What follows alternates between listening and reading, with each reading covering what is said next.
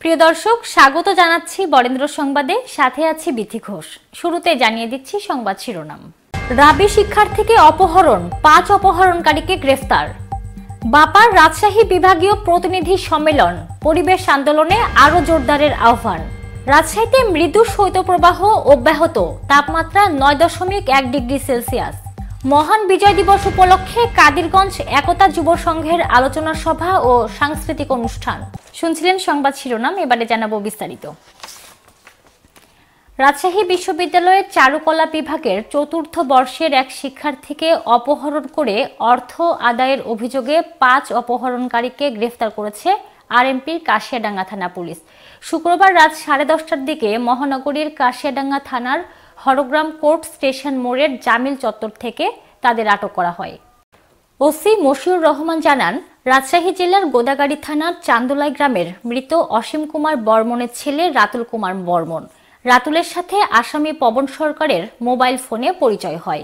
গত ছয় জানুয়ারি সন্ধ্যা সাড়ে সাতটায় পবন সরকার মোবাইল ফোনে রাতুলকে কাশিয়াডাঙ্গা থানার হরগ্রাম কোর্ট স্টেশন মোড়ের জামিল চত্বরে ডেকে নিয়ে সেখানে থেকে পবনের অপর সহযোগী দাউদ ইব্রাহিম ও পলাশ তাকে অপহরণ করে হরগ্রাম বাজারে দাউদ ইব্রাহিমের বাড়িতে আটকিয়ে রেখে রাতুলের মায়ের মোবাইল ফোনে কল করে নিজেদের পুলিশ পরিচয় দিয়ে চল্লিশ হাজার টাকা মুক্তিপণ দাবি করেন।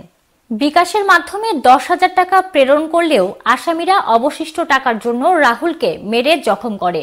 খবর পেয়ে পুলিশ পাঁচ অপহরণকারীকে গ্রেফতার এবং রাতুলকে উদ্ধার করে প্রাথমিক চিকিৎসার ব্যবস্থা করেন। গ্রেফতারকৃত আসামিদের বিরুদ্ধে আইনগত ব্যবস্থা গ্রহণ করা হয়েছে। রাজশাহী সহ দেশের আট জেলায় মৃদু শৈত্যপ্রবাহ অব্যাহত রয়েছে। কনকনে শীতে জুবুথুবু, রাজশাহীর জনজীবন। আবহাওয়া অধিদপ্তর জানিয়েছে, মধ্যরাত থেকে সকাল পর্যন্ত সারা দেশে মাঝারি থেকে ঘন কুয়াশা পড়তে পারে, বাড়তে পারে শীতের তীব্রতা। রাজশাহীতে আজ সর্বনিম্ন তাপমাত্রা রেকর্ড করা হয়েছে নয় দশমিক এক ডিগ্রি সেলসিয়াস। আবহাওয়া অফিসের পূর্বাভাসে বলা হয়েছে, সারা দেশে রাতের এবং দিনের তাপমাত্রা সামান্য বৃদ্ধি পেতে পারে। দিন ও রাতের তাপমাত্রার পার্থক্য কমে যাওয়ার কারণে সারা দেশে মাঝারি থেকে তীব্র শীতের অনুভূতি থাকতে পারে। এছাড়া পরবর্তী বাহাত্তর ঘণ্টার শেষের দিকে তাপমাত্রা হ্রাস পেতে পারে। রাজশাহী, পাবনা, দিনাজপুর, পঞ্চগড়, নীলফামারী যশোর, চুয়াডাঙ্গা ও কুষ্টিয়ার ওপর দিয়ে বয়ে যাবে মৃদু শৈত্যপ্রবাহ। তবে দেশের উত্তর উত্তর পশ্চিমাঞ্চল এবং মধ্যাঞ্চলে মাঝারি থেকে তীব্র শীত অব্যাহত থাকতে পারে। রাজশাহী বিভাগের পাবনার ঈশ্বরদীতে নয় দশমিক চার ডিগ্রি, বগুড়ায় দশ দশমিক দুই ডিগ্রি, নওগাঁর বদলগাছিতে নয় দশমিক পাঁচ ডিগ্রি সিরাজগঞ্জের তারাসে দশ ডিগ্রি সেলসিয়াস তাপমাত্রা রেকর্ড করা হয়েছে। পদ্মা নদীকে বাঁচালে বাঁচবে রাজশাহী। পরিবেশে যোদ্ধা যদি আপনি হন, প্লাস্টিক করুন, প্রত্যাখ্যান। এই প্রতিপাদ্যকে সামনে রেখে রাজশাহীতে অনুষ্ঠিত হল বাংলাদেশ পরিবেশ আন্দোলন, বাপা বিভাগীয় প্রতিনিধি সম্মেলন। শনিবার বেলা এগারোটায় রাজশাহী বিশ্ববিদ্যালয়ের ডিনস কমপ্লেক্সের সম্মেলন কক্ষে এর আয়োজন করা হয়। এতে প্রধান অতিথি ছিলেন রাজশাহী বিশ্ববিদ্যালয়ের উপাচার্য প্রফেসর গোলাম সাব্বির সাত্তার।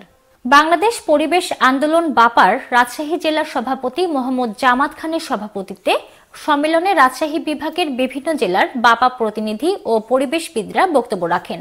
বক্তারা পরিবেশ বাঁচাতে, নদী রক্ষা ও প্রকৃতির প্রতি সহনশীল হওয়ার আহ্বান জানান। বক্তারা বলেন, উন্নয়ন হতে হবে, তবে তা পরিবেশ নষ্ট করে নয়। পরিবেশ ও প্রকৃতিকে বাঁচিয়েই উন্নয়ন ত্বরান্বিত করতে হবে। সম্মেলনের শুরুতে প্রধান অতিথি রাজশাহী পরিবেশ আন্দোলন কমিটির নাম ঘোষণা করেন। এতে জামাত খানকে সভাপতি ও ডক্টর হেমায়েতুল ইসলামকে সাধারণ সম্পাদক করে আশি সদস্যের বাপা রাজশাহী জেলা কমিটি ঘোষণা করা হয়। সম্মেলনে বিভিন্ন অনুষদের কর্মকর্তা, পানি উন্নয়ন বোর্ড ও পরিবেশ অধিদপ্তরের কর্মকর্তা সহ বাপার রাজশাহী বিভাগের আটটি জেলা কমিটির নেতৃবৃন্দ উপস্থিত ছিলেন। একান্নতম মহান বিজয় দিবস উপলক্ষে কাদিরগঞ্জ একতা যুব সংঘের আয়োজনে আলোচনা সভা ও সাংস্কৃতিক অনুষ্ঠান অনুষ্ঠিত হয়েছে। শুক্রবার সন্ধ্যায় মহিলা কলেজ সংলগ্ন স্থানে আয়োজিত অনুষ্ঠানে প্রধান অতিথি হিসেবে উপস্থিত থেকে বক্তব্য দেন রাজশাহী মহানগর আওয়ামী লীগের সহ সভাপতি ও বিশিষ্ট সমাজসেবী শাহিন আক্তার রেনি রাজশাহী মহানগর স্বেচ্ছাসেবক লীগ সভাপতি ও তেরো নং ওয়ার্ড কাউন্সিলর আব্দুল মোমিনের সভাপতিত্বে অনুষ্ঠানে বিশেষ অতিথি হিসেবে উপস্থিত ছিলেন রাজশাহী মহানগর আওয়ামী লীগের যুগ্ম সাধারণ সম্পাদক মোস্তাক হোসেন, রাজশাহী জেলা ক্রীড়া সংস্থার সাধারণ সম্পাদক ওয়াহেদুন নবী অনু, মহানগর যুবলীগের সহসভাপতি আতিকুর রহমান মন্টু সহ অন্যরা। এ সময় শাহিন আক্তার রেনি বলেন, জাতির পিতা বঙ্গবন্ধু শেখ মুজিবুর রহমানের নেতৃত্বে অর্জন হয়েছে মহান স্বাধীনতা। বঙ্গবন্ধু কন্যা প্রধানমন্ত্রী শেখ হাসিনা দিয়েছেন উন্নয়ন।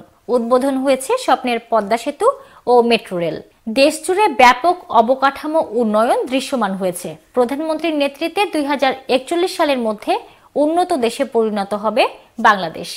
নাটোরে বালু বোঝায় ট্রাকের ধাক্কায় আইনাল শেখ নামে এক ভ্যান চালকের মৃত্যু হয়েছে। শনিবার সকালে সদর উপজেলার নাটোর রাজশাহী মহাসড়কের চাঁদপুর এলাকায় এ দুর্ঘটনাটি ঘটে। নিহত আইনাল হোসেন রাজশাহীর পুঠিয়ার গন্ডগোয়ালি গ্রামের নজির শেখের ছেলে। নাটোর সদর থানার ভারপ্রাপ্ত কর্মকর্তা নাসিম উদ্দিন ও স্থানীয়রা জানায় পুঠিয়া থেকে সোফা ভর্তি ভ্যান নিয়ে নাটোর হয়ে পাবনার ঈশ্বর ঈশ্বরদীতে যাচ্ছিল ভ্যান চালক আইনাল শেখ। পথে নাটোর সদর উপজেলার নাটোর রাজশাহী মহাসড়কে চাঁদপুর এলাকায় পৌঁছালে পেছন দিক থেকে বালু বোঝায় একটি ট্রাক ভ্যানে ধাক্কা দিলে ভ্যান চালক ট্রাকের চাপায় পৃষ্ঠ হয়ে ঘটনাস্থলে মারা যায়। খবর পেয়ে পুলিশ ও ফায়ার সার্ভিসের সদস্যরা ঘটনাস্থলে গিয়ে মরদেহটি উদ্ধার করে ময়নাতদন্তের জন্য নাটোর সদর হাসপাতাল মর্গে প্রেরণ করেন। ঘটনার পরই ট্রাকের চালক দ্রুত ট্রাকটি নিয়ে পালিয়ে যায়। নাটোরে শেখ কামাল দ্বিতীয় বাংলাদেশ যুব গেমস দুই হাজার তেইশ এর উদ্বোধন করা হয়েছে। শনিবার বেলা সাড়ে এগারোটার দিকে শহরের শঙ্কর গোবিন্দ আধুনিক স্টেডিয়ামে জাতীয় পতাকা উত্তোলন ও বেলুন উড়িয়ে এই গেমসের উদ্বোধন করেন স্থানীয় সংসদ সদস্য শফিকুল ইসলাম শিমুল। এ সময় উপস্থিত ছিলেন অতিরিক্ত জেলা প্রশাসক নাদিম সারোয়ার অতিরিক্ত police super A T M Mainul Islam যুব গেমসের প্রতিনিধি মোহাম্মদ মবিন সহ অন্যান্যরা। জেলার সাতটি উপজেলা থেকে খেলোয়াড়রা এই গেমসে অংশ নিচ্ছে। উদ্বোধনী অনুষ্ঠানে সংসদ সদস্য বলেন, বর্তমান সরকারের প্রধানমন্ত্রী শেখ হাসিনা ক্রীড়ার উন্নয়নে নানা পদক্ষেপ গ্রহণ করেছেন। তারই অংশ হিসেবে সারা দেশে ক্রীড়াবিদ তৈরির জন্য নানা পদক্ষেপ গ্রহণ করা হয়েছে। এরই ধারাবাহিকতায় বাংলাদেশ অলিম্পিক অ্যাসোসিয়েশনের সার্বিক তত্ত্বাবধানে ও জেলা ক্রীড়া সংস্থার আয়োজনে শেখ কামাল দ্বিতীয় বাংলাদেশ যুব গেমস দুই এর উদ্বোধন করা হলো। নওগাঁর পোরশা উপজেলার নিতপুর ইউনিয়ন পরিষদের চেয়ারম্যান আলহাজ এনামুল হকের চেয়ারম্যান হিসেবে প্রথম বর্ষপূর্তি উদযাপিত হয়েছে। গত এক বছরে নিতপুর ইউনিয়নের রাস্তাঘাট, ড্রেন নির্মাণ সহ বিভিন্ন উন্নয়ন কাজ ও বিভিন্ন ভাতা খাদ্য বান্ধব সহ বিভিন্ন কর্মসূচি বাস্তবায়নের তথ্য তুলে ধরার পাশাপাশি এসএসসি ও দাখিল পরীক্ষায় জিপিএ ফাইভ প্রাপ্ত এবং পবিত্র কোরআনের হাফেজদের সংবর্ধনা ও ক্রেস্ট প্রদান করা হয়। এ উপলক্ষে Netpur U P chairman Alhaj Enamul হকের সভাপতিত্বে এক আলোচনা সভা অনুষ্ঠিত হয়েছে। আলোচনা সভায় পৌরসা উপজেলার ভারপ্রাপ্ত উপজেলা নির্বাহী অফিসার জাকির হোসেন, উপজেলা মাধ্যমিক শিক্ষা অফিসার ওয়াজেদ আলী মৃধা উপজেলা সাব রেজিস্ট্রার খালেদা বেগম, উপজেলা আওয়ামী লীগের সাধারণ সম্পাদক মোফাজল হোসেন, উপজেলা পরিষদ ভাইস চেয়ারম্যান কাজিবুল হক সহ অন্যান্যরা বক্তব্য রাখেন। বিভিন্ন উন্নয়ন কাজের কথা তুলে ধরে নিতপুর ইউপির উন্নয়নের ধারা অব্যাহত রাখতে আগামী দুই সালে নির্বাচনে নৌকা প্রতীকে ভোট চাইলেন এই জনপ্রতিনিধি। নেতৃত্বে আমি উন্নয়ন করেছি এবং জনমন্ত্রী শেখ হাসিনা টাকা দিয়ে করেছি আমি।